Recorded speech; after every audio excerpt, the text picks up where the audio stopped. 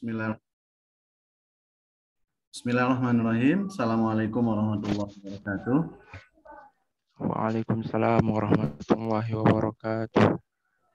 Apa kabarnya, Daeng?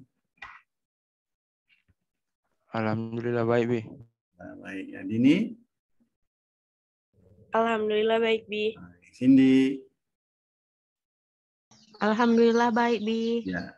Eh, Alhamdulillah, alhamdulillahirrahmanirrahim, wassalatu wassalamu ala anbiya'i mursalin wa ala alihi wa. Ya, eh, anak anak Bapak semua, untuk hari ini kita masuk ke pembelajaran materi baru ya. Nah, Pertemuan ini setelah kita lanjutkan setelah UTS kemarin yang kita lakukan bersama. Ya, untuk hari ini eh, kita masih belajar tentang bola kecil. Ya, minggu lalu uh, sudah uh, belajar tentang softball, ya gitu ya, Deng ya?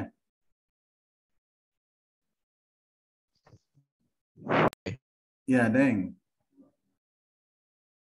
Ya, untuk hari ini kita lanjut ke uh, bola kecil, yaitu uh, bulu tangkis ya, atau badminton yang sering kita kenal seperti itu. Ya, sebelum kita mulai pembelajaran, seperti biasa Bapak tanya-tanya dulu uh, tentang program kebugaran yang kalian lakukan di rumah. Coba mana Daeng? Bisa buka mikrofonnya, Daeng? Iya, Bi. Apa program uh, kebugaran yang kamu lakukan selama setelah UTS sampai hari ini yang kamu lakukan di rumah? Nggak ada, Bi. Nggak ada. Lari pagi, jogging dan sebagainya nggak dilakukan. Enggak, Bi. Terus apa kegiatannya selain belajar gitu? Kegiatannya apa di rumah? Bersih-bersih mungkin, Bi. Terus bersih cuman bantu orang tua ya. Iya, Bi. Oke, jadi nggak ada jadi nggak ada program kebugaran yang kamu lakukan di rumah ya. Iya, Bi. Ada, oke. Terima kasih. Selanjutnya ke Putri Dini mana? Putri Dini. Iya, Bi. Apa program kebugaran yang kamu lakukan? Kamu laksanakan di rumah? Naik sepeda aja mungkin, Bi. Sepeda ya dari rumah ke Eh, paling ke Masjid Agung, Bi. berapa jarak itu kira-kira? Kalau PP kurang lebih 12 10 kilo, Bi. 10 kilo ya? Oh, bagus. Ya, insya Allah itu memberi efek positif ya untuk kesehatan dan kebugaran. Ya, apalagi sampai 10 kilo ya. Itu sore atau pagi biasanya kamu lakukan? Sore ya? Kalau hari biasa biasa sore, Bi. Tapi Sore, kalau minggu Kalau Eh, pagi, Bi. Oh iya, karena kalau selain hari Minggu kan kegiatan untuk persiapan pembelajaran ya. persiapan masuk kelas. Ya. Terima kasih Dini, dilanjutkan programnya ya agar memberi efek positif pada diri kamu.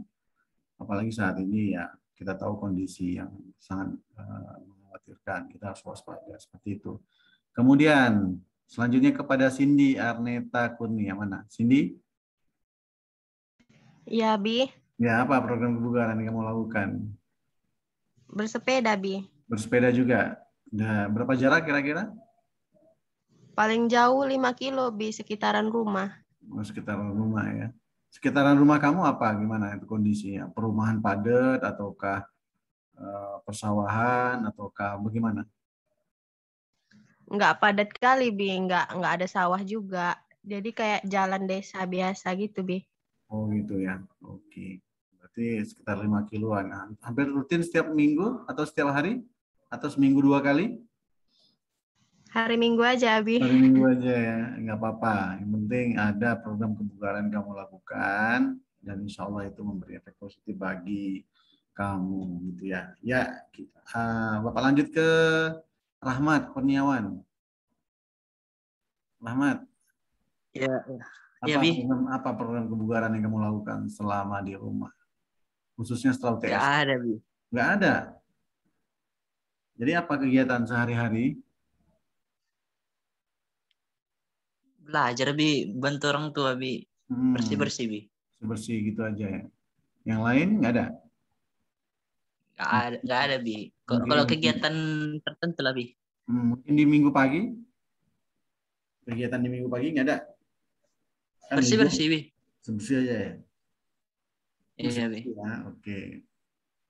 Hmm, ditingkatkan ya, mungkin dibuat satu program ya dengan keluarga inti ataukah dengan teman-teman yang kondisinya sehat dan fit buat program apakah eh, mau lari pagi ataukah program kebugaran lainnya silahkan.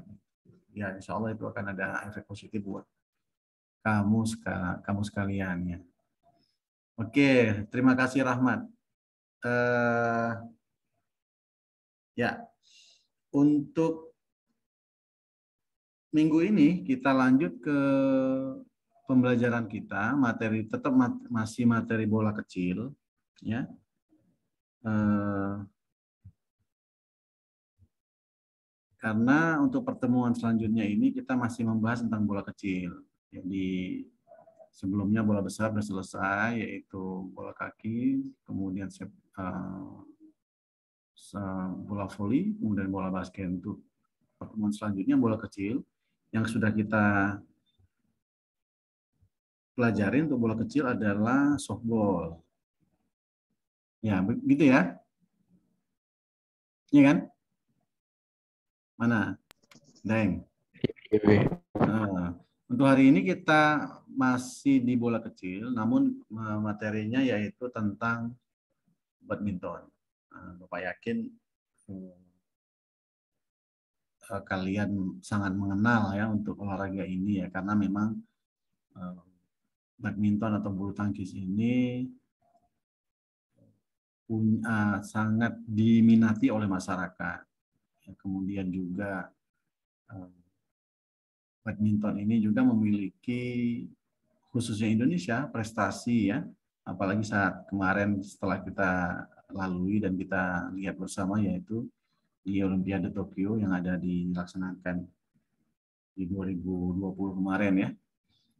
Eh, Kemudian eh, karena punya potensi yang baik di Indonesia, maka termasuk olahraga badminton ini mem- memiliki juga pemain-pemain yang baik, yang hebat ya, yang kita kenal saat ini.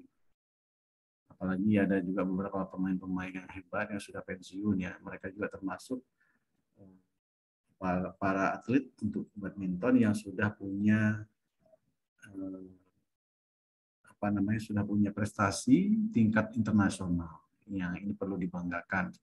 Ya. Sebelum kita lanjut, hmm, Bapak nanti eh, kita akan sedikit apa ya bahas bersama ya. Namun sebelumnya untuk materi badminton ini indikator dari pembelajaran kita yaitu menjelaskan gerakan teknik dasarnya ya, teknik dasar permainan bulu tangkis. Namun nanti sedikit ada kita bahas tentang sejarahnya ya, karena memang kita perlu tahu kalau kita sudah mengenal, mengenal ya, sangat mengenal, mengenal sejarah berarti kita sangat mengenal maka kemungkinan ya dengan adanya kita mengenal sejarah maka kecintaan kita ke, khususnya kepada olahraga badminton atau bulu tangkis ini ada ada potensi yang baik untuk pada diri kita gitu. Eh, di antara teknik yang ada pada bulu tangkis, ya, kemudian juga ada peraturan-peraturan peraturan permainan yang ini yang juga harus kita pahami. Ya, eh, sedikit tentang sejarahnya ya.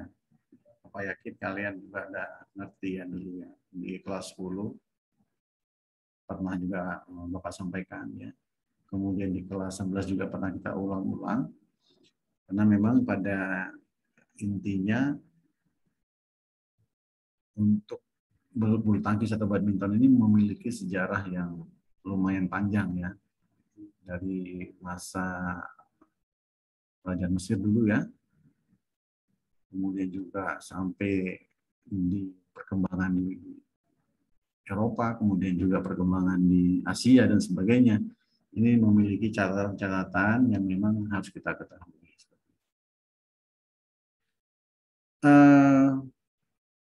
seperti yang kita kenal yaitu Rudi Hartono ya atau Lin Swiking atau Susi Susanti Hidayat Topik Hidayat dan lain-lain ini merupakan merupakan beberapa atlet Indonesia yang punya prestasi. Bapak yakin kalau Bapak tanya kepada Daeng dan lain-lainnya, di antara beberapa atlet uh, bulu tangkis yang lain yang pernah kalian kenal juga, pastinya kalian tahu seperti itu. Coba ada yang kira-kira. Kevin Sanjaya B. Hmm. Kevin Sanjaya. Yang kemarin yang ganda putri yang prestasi kemarin? Yang di Tokyo ya, tahu? Enggak tahu namanya Bi, tapi tahu mukanya Bi. namanya ya. Tapi tahu orangnya ya itulah. Uh, itulah di antara beberapa prestasi yang dimiliki oleh atlet-atlet Indonesia khususnya pada bulu tangkis. Ini menjadi satu apa ya satu titik kemudian satu poin penting yang membuat kalian jadi suka dan cinta kepada badminton dan atau bulu tangkis. Nah ini menjadi pemicu ya, pemantik sehingga kalian suka. Makanya termasuk uh, bulu tangkis ini atau badminton ini memang betul-betul olahraga yang dikenal di masyarakat banyak karena dia punya raket dan bola cukup bisa bermain di mana saja seperti itu ya. Mungkin kalau cabang olahraga lain yang softball ataupun tenis meja ini harus ada fasilitas lain yang harus dipenuhi, yang harus disiapkan sehingga kadang-kadang permainan olahraga untuk selain badminton ini sulit dan susah diikuti oleh masyarakat lain. Nah, kita perlu bersyukur ya badminton ini termasuk Indonesia punya prestasi dan juga termasuk olahraga yang yang kita bisa melakukan dan laksanakan. Punya raket dan bola sudah selesai. Biasanya kan eh, momen-momen seperti ini bisa di kadang-kadang kita di bulan puasa ya, bisa sebelum sahur bahkan atau setelah sahur atau setelah sholat subuh kadang-kadang berolahraga untuk bulu tangkis atau. Ya, di antara perlengkapan yang kita kenal ya mungkin dari lapangan kemudian juga perlengkapan permainan nah ini uh, sangat mendukung untuk bisa bermain ya, selain uh, lapangan atau perlengkapan lain. Uh, dari bentuk dan kondisi lapangan dalam permainan langsung saja ya biar cepat. Nanti untuk hal-hal lain kalian bisa baca di psikologi yang Bapak tampilkan. Untuk permainan apa perbedaan antara dalam penggunaan lapangan ya coba nanti bapak akan tanyakan ya. Apa uh, perbedaan dalam permainan tunggal ataupun ganda pada uh, penggunaan lapangan ini? Coba kira-kira putri putri dini. Misalkan pemain uh, ganda apa peraturannya dalam uh, penggunaan lapangan? Coba putri? Iya bi. Hmm Uh, biasanya yang setahu saya Bi kalau misalnya ganda itu ada punya posisi masing-masing Bi. Hmm. Terus?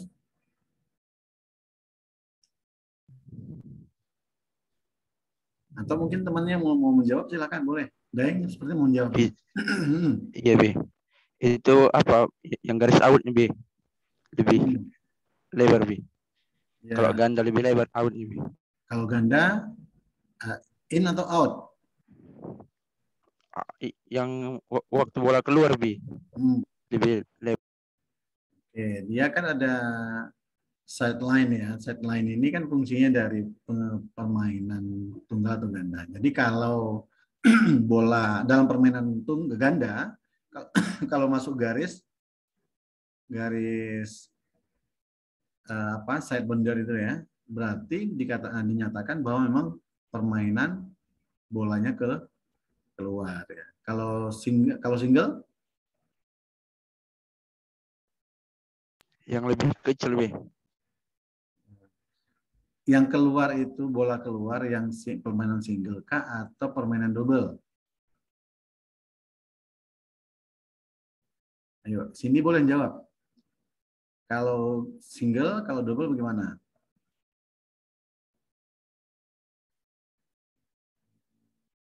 Ayo, Deng. Kalau single dikatakan dinyatakan bolanya keluar. Kalau double dinyatakan bolanya masuk ya. Itu itu di antara eh, peraturan permainan dalam penggunaan lapangan baik itu pemain eh, single ataupun double itu sama juga dengan campuran sama ya itu seperti itu. Ini dari sisi lapangan. Maka ada ada perlengkapan lain juga yang harus dimiliki ya. Mungkin Bapak dulu pernah merasakan penggunaan raket kayu dulu ya. Ini termasuk raket yang zamannya apa perkembangan teknologinya untuk uh, alat raket ini memang belum baik, baik ketika itu ya. Yang ketika itu yang pernah Bapak rasakan menggunakan kayu ya. Kemudian senarnya juga pakai tali nilon atau tali pancing seperti itu. Saat ini raketnya sudah berkembang baik secara teknologi dan bahkan lebih ringan dan bahkan juga senyawa ya dia tersambung antara uh, seluruh dari badan raket itu bersambung ya, tidak terputus. Bahkan lebih ringan dan tidak mudah karatan. Kalau dulu ya mudah karatan eh, senarnya juga mudah putus. Nah saat ini doang mungkin sudah makin lebih baik. Nah ini dalam Eh, lapangan dan raketnya.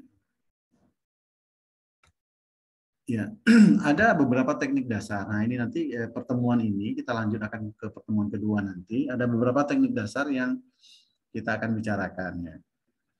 Eh, dikarenakan kondisi saat ini kita belum bisa lakukan praktek, eh, nantinya Bapak akan di pertemuan kedua Bapak akan tampilkan video.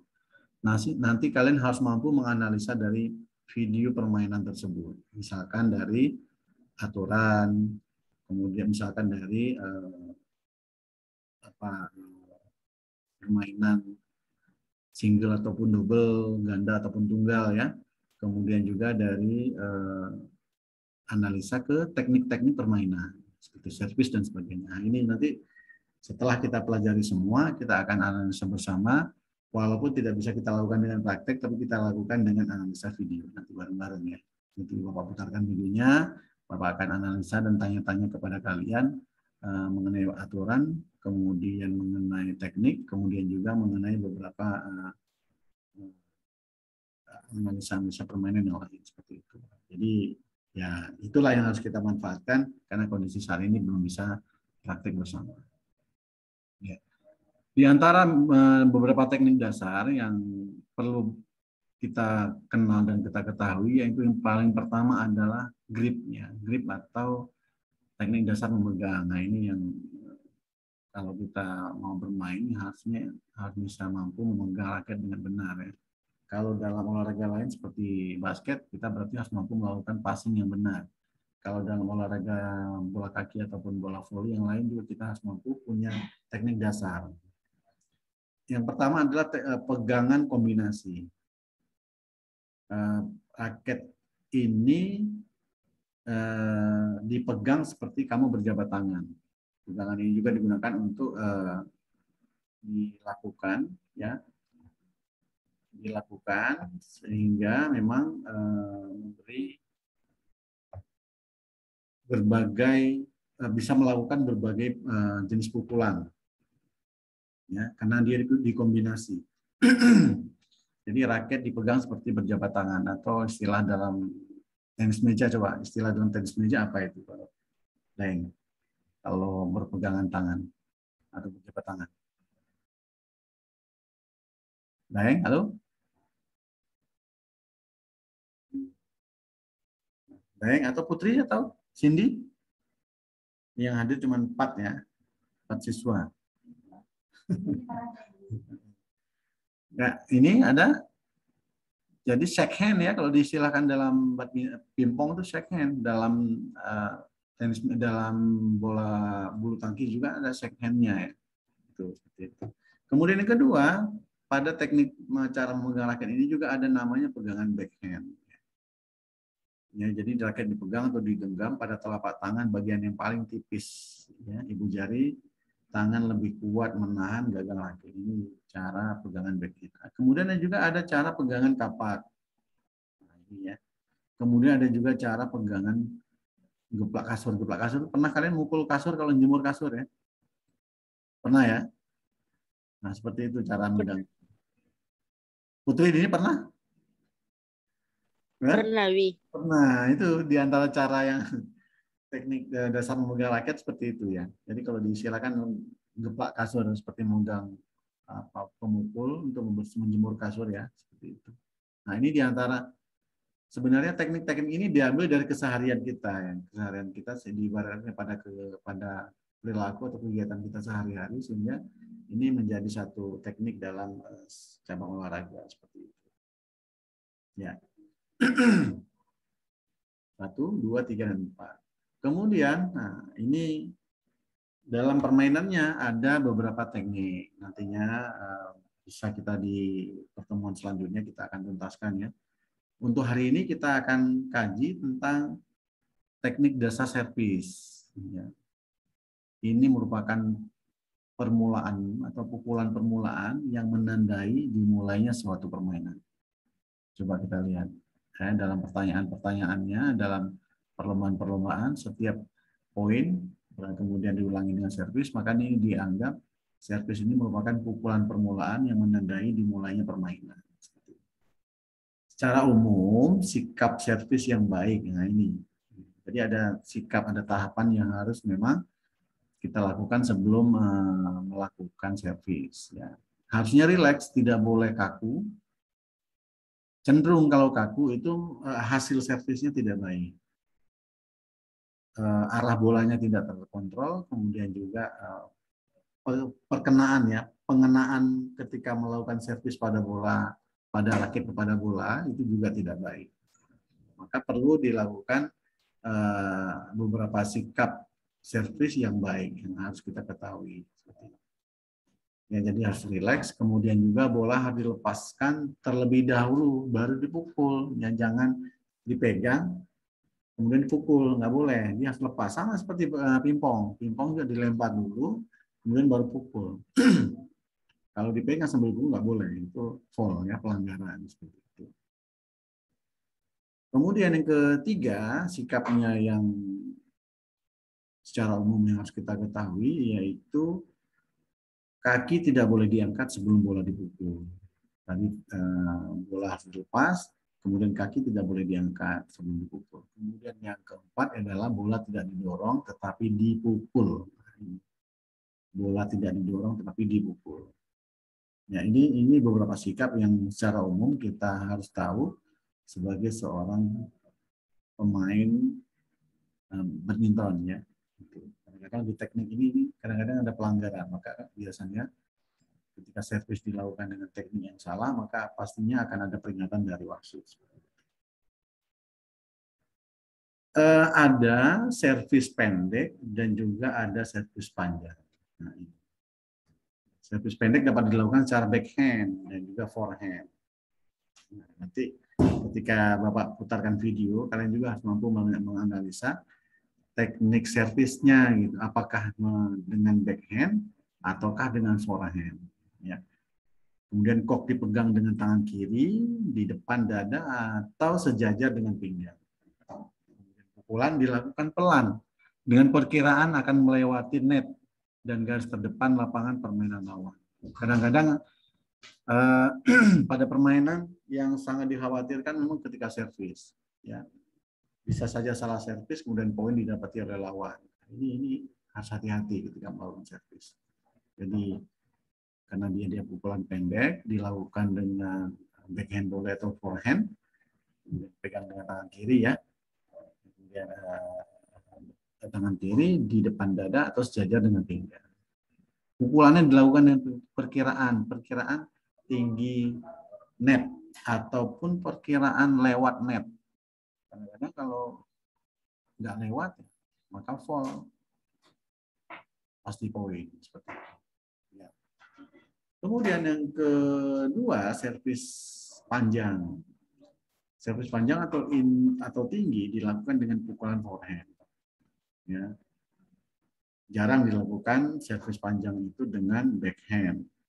Ya, servis ini dilakukan di sebelah kanan bawah jika pukulan memakai tangan kanan, servis ini dilakukan dengan menjatuhkan kok ke samping kanan. Kalau kidal berarti dijatuhkan bola atau menjatuhkan kok ke samping. Seperti itu. Ya. Ada pertanyaan? Gak ada, Bi. Nggak ada. Putri? Cindy? Tidak ada.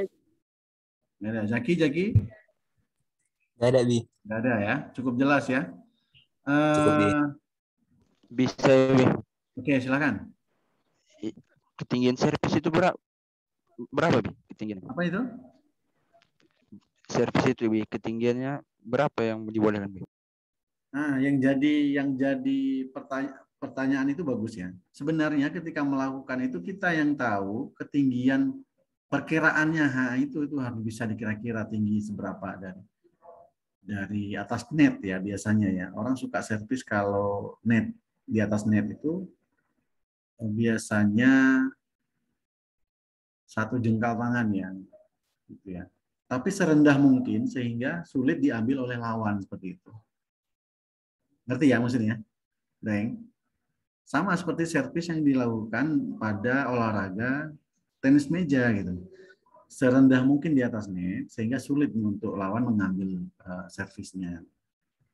Sama juga dengan badminton. Tapi kalau semakin tinggi eh, akan dengan mudahnya dilakukan smash oleh lawan. Gitu. Ngerti, Deng?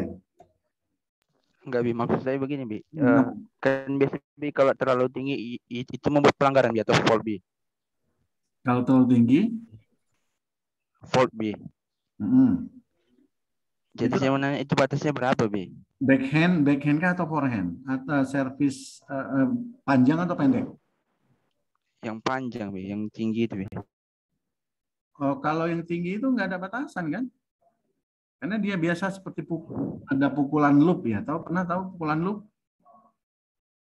Pukulan loop itu pukulan tinggi dan jatuh di belakang pemain di dekat garis gitu. Itu ada. Nggak ada batasan ya. Gitu.